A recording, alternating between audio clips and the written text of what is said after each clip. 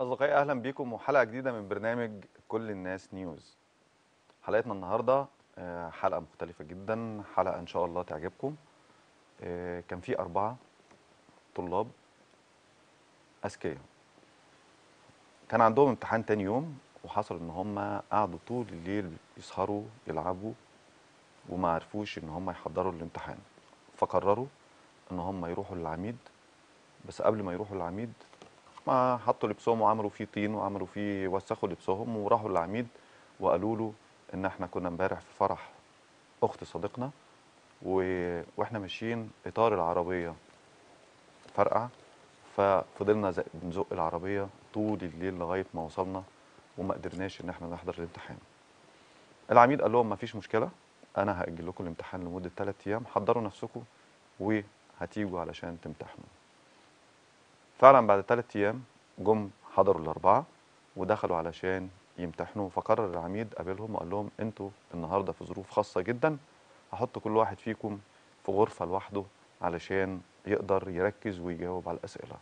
وكان الامتحان عبارة عن سؤالين. السؤال الأول من درجة واحدة اكتب اسمك. السؤال الثاني إيه هي فردة العربية اللي تم اللي بسببها اتأخرتوا اللي باظت في العربية؟ الأربعة يحصل لهم يا حبيبي. أهلا يا حبيبي. إزيك يا محمد؟ إزيك يا؟ حبيبي؟ الحمد لله تمام. إيه كملت لنا بقى. سقطوا الأربعة. يعني يعني عارفين إن هم بيكذبوا. هو عارف إن هم بيكذبوا وقرر إن هو يختبرهم وما يسألهمش لأنه متأكد إن هم كذابين. لكن لو هم كانوا قالوا الصراحة كان ممكن يسامحهم وكان فعلا ممكن مش حد يعدلهم بيسامح يا محمد الأيام دي. يعني الكذب حلو؟ طب قبل ما نتكلم بقى على الكذب. لا خلينا الأول في الكذب علشان هنخش بعد كده في كلام جامد. كلام جامد. آه. لا هو مكروه طبعا. كويس. يعني إمتى الإنسان بيكذب؟ لما بيخاف. سواء بيخاف من اللي قدامه أو بيخاف على زعل اللي قدامه. بيخاف من اللي قدامه يعني أو خوف رعب آه. آه، كره أو حب. كويس. الحالتين يعني. يعني علشان أرضيك فبكذب عليك. ده المبرر الوحيد. هو كويس. مش آه، إن أنا مش بديله سبب أو مش ببرر له إن الكذب كويس سواء آه. في الحالتين. بس آه، مش كل الناس ملاك. طيب لو كذبنا وفجأة الحقيقة ظهرت شكلنا يبقى شكلك صغير. مظبوط؟ جدا جدا. حصلت معاكي؟ آه لا هقول لك على حاجة. أنا مش ملاك. أنا كويس. ممكن أخبي. ممكن أنت تسألني سؤال أي حد يسألني حاجة مش عايزة أجاوب عليها ممكن أغير الموضوع ممكن إن أنا ما أتكلمش بس ما. أكدبش. ليه؟ علشان الموقف اللي أنت بتقول عليه ده. تمام. يعني في الآخر ما إحنا أحبش إن أنا أبقى صغيرة. يبقى علشان ما نبقاش صغيرين وما يبقاش شكلنا وحش نقول الصراحة. مهما الصراحة بتكون صعبة أو مهما بتكون بتوجع معاك. بس هي الحاجة الوحيدة اللي بتقدر مش تنقذ نفسك. الصدق نجاة. الصدق نجاة. مهما خبيت هتظهر الحقيقة في يوم من الأيام شكلك هيبقى عامل إزاي. علشان كده بقول لكل ولادنا كل الشباب كل البنات ابقي صادقة مع باباكي مع أمك ابقي صادقة مع جدتك ابقي صادقة مع كل الناس اللي بيحبوكي. ما تخافيش منهم لأنك لو خفتي هتكذبي أو خفت هتكذب الزوج مع الزوجة لو الزوجة خافت هتكذب لازم كلنا طب في أزواج بتكذب كتير يا محمد؟ طالما بقى أنت اللي جبت كده. أزواج أزواج بتكذب كتير؟ بتكذب أنت كمان ما تكذبش خلاص. لا في زوج بيكذب ما أنا هو هقول لك على حاجة. صعب إن الزوجة تكذب على جوزها. بس أنا بعرف ده على أساس؟ ده على أساس مش إن الزوج ملاك مش ملاك. تمام. بس دايما يقول لك إيه لا أنا هكذب عليه طب هقول لك على حاجة. هل. هو مباشر كل خروجاته بتبقى مع أصحابه وعلى كافيه ويا عيني في شغله ويا عيني مطحون؟ لا طبعا. لا إيه؟ أنت رايح فين؟ رايح في فرح واحدة صع... واحد صاحبي. خدني معاك. طب ما تروحي. معاه. هو قال لك لأ؟ لا هو بيقول لأ. لا طيب اللي أنا عايز. أقوله لا مش معنى إنه قال مش لا. معنى إن هو بي... يعني لا لحظة مش معنى إنه قال لا إن هو رايح مكان تاني. ممكن مرة يصادف. آه ممكن يصادف بس لا لا ما هو في نقطة مهمة في نقطة مهمة. إحنا بنقول الشخص السوي ما بيكذبش. الغير سوي الغير سوي يكذب. ممكن سوي بيكذب. لا ممكن سوي السوي ما بيكذب. بيكذبش تاني. ما فيش حاجة اسمها سوي يكذب. السوي لا يكذب عشان المبرر. مفيش مبرر. عشان ما زعلكش زعل عشان مين؟ ما خربش البيت علشان أ- حاجات كتير. اخرب البيت علشان أنا خارج مع اصحابي؟ ما هو مش هيبقى اصحاب بقى هو البيت هيتخرب طيب عشان هو صحابي الخروجة مش. عشان اصحاب. أه؟ ده صح ولا غلط؟ عشان صحابه؟ لا مش عشان صحابه. لا هيتخرب. يبقى غلط. يبقى أنا ما اكذبش يبقى ما اعملش الغلط. لحظة أنا ليه بقول إيه بيخليني اكذب؟ الخوف. إيه اللي بيخليني اكذب أعمل حاجة. غلط. إيه اللي بيخليني على اللي اكذب قدامي على ما أعملش. الغلط. تاني. بس مش ملاك. البني آدم إحنا مش ملايك ما أنا مش عايزك تبقى في منا اللي بيسرق واللي بيكذب. مش كويس ولا أنا عايزة. كده. بس في الناس مش ملاك. ما أنا برضو أنا عايز أقول إن إحنا لازم ما نكذبش.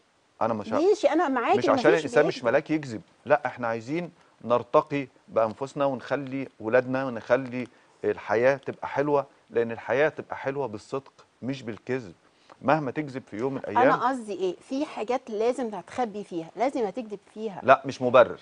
مش مبرر ولا. أنا أنا بقول لك كده. أنا بس دلوقتي خالص أي طالما في- أنت بقول الزوج والزوجة. دلوقتي أنا مسال جوزي أنت نازل فين؟ هيقول لي نازل فين. شيء طبيعي نازل مع أصحابي. ما هو لو عندي كذب شغل. لو كذب يبقى. مش سوي مش بتكلم على. جوزك بس أنا بتكلم على كل أنا مش الرجالة. بتكلم على جوزي. آه أنا ما بتكلمش أنا بتكلم على لكن لا، لو هو جوزي ملاك. لا ما هاي، تجيبش يبقى خلاص. يبقى طالما هو كويس ما بقاش بس لازم أي زوج هيكذب أنا. مش بقول إن هو كويس لا ما ب- بصي ما, بقولش تتكلميش على أي زوج لسبب واحد ما نعممش لما نيجي نتكلم على آه، حاجات إحنا بنمر بيها في التجارب الشخصية بتأثر التجارب الشخصية بتأثر فينا وكمان ما عشان التجارب تعلمنا يا المجموعة اللي ما معانا حوالينا عشان لازم تع... عشان عشان تعلمنا. تعلمنا أنا بقول إن الرجل السوي والزوجة السوية ما. تكذبش مهما أكيد، تكون أكيد. علشان ما تكذبش صعب عشان ما تكذبش يبقى المفروض إن أنت ما تعملش أخطاء.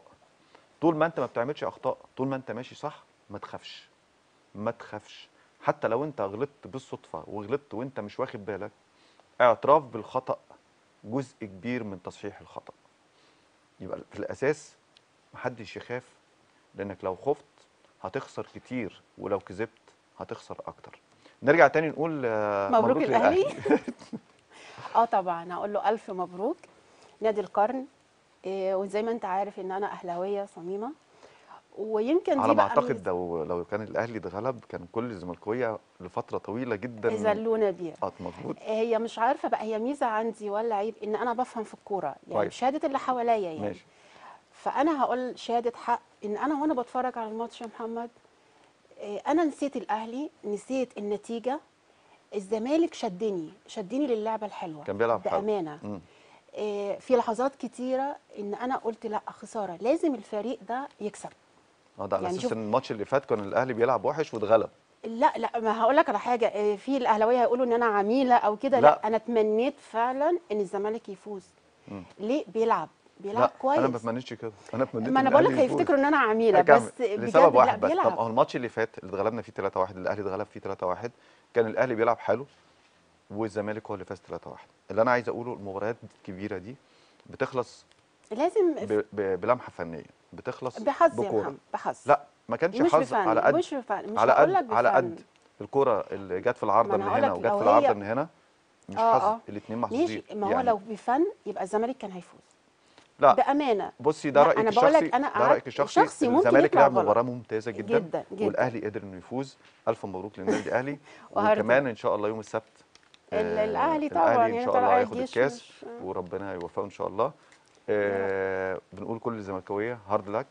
الزمالك نادي كبير جدا فريق كبير فريق محترم عمل مباراة رائعة. بجد لو حقيقي الأهلي كان الزمالك كان يستحق المباراة ويستحق الكاس لكن الأهلي أخذ الكاس. يعني أنت معايا الأهلي بطل بطل أفريقيا وبطل القرن. هنطلع فاصل إعلاني ونرجع لكم تاني عايز افكركم ان كل اصدقائنا اللي بيبعتوا لنا الصور وبيبعتوا لنا اهداءاتهم ألف مبروك للأستاذ كرم رفاعي آه، لزواج ابنه. كان احتفالية كبيرة جدا بعت لنا الصور. هنتفرج عليها. ألف ألف ألف مبروك للأستاذ كرم رفاعي وكل عيلته الكريمة. وهنطلع فاصل ونرجع لكم تاني.